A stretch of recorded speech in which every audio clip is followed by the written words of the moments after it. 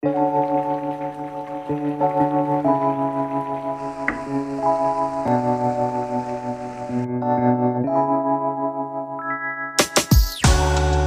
teman semuanya, ketemu lagi dengan saya di Dapur Cantik Channel. Ini di meja sudah ada tiga papan tempe ya. Di episode ini Dapur Cantik akan membuat masakan yang tanpa minyak, yaitu tempe ungkep tanpa minyak. Simak terus videonya teman semua hingga nanti selesainya ya. Tempenya langsung saya potong-potong ya teman semua. Agak besar-besar saja. Namun kembali sesuai selera teman semua ya mau dipotong agak kecil boleh saja sekarang saya akan haluskan bumbu untuk tempe ungkepnya ya teman semua ada bawang merah bawang putih jahe dan kemiri saya tambahkan sedikit air ya teman semua untuk memudahkan blendernya ini kerja. Meringankan beban blendernya.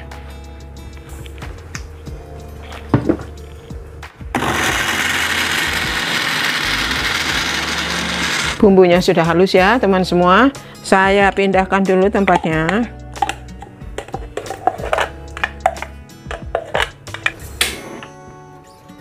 Sekarang saya mulai membuat tempe ungkep tanpa minyak ya teman semua saya masukkan air terlebih dulu.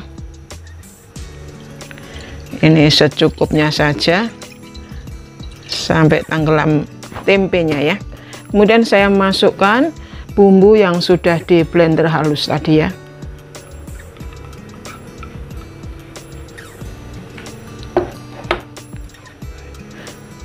Bumbunya saya masukkan semua ya teman semua. Ada serai yang sudah digeprek daun salam kemudian ini daun jeruk purut yang sudah saya buang tulang daunnya. Ketumbar bubuk. Kemudian ini ada garam kunyit bubuk dan kaldu jamur. Saya masukkan semua ya.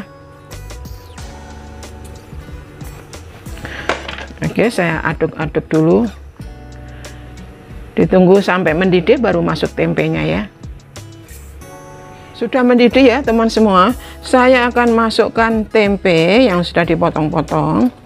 Saya masukkan semua tempenya. Ya kemudian saya aduk dulu sampai semua tenggelam di uh, bumbunya ini ya teman semua di kuahnya ini. Kemudian ini nanti akan saya ungkep ditutup ya wajannya sampai nanti kuahnya ini susut ya teman semua nah semua tempenya sudah tenggelam di airnya ini ya teman semua. Saya tutup dulu wajannya sampai airnya ini susut. Ya. oke ditunggu ya. Saya buka dulu tutupnya dilihat ya tempenya seperti apa. Airnya sudah susut tapi masih banyak. Oke saya akan balik-balik tempenya ya. Semua saya balik-balik supaya meresapnya bumbunya ini bisa merata ya ke dalam tempenya ini. Dan ini ditunggu sampai benar-benar susut ya airnya. Sampai airnya habis.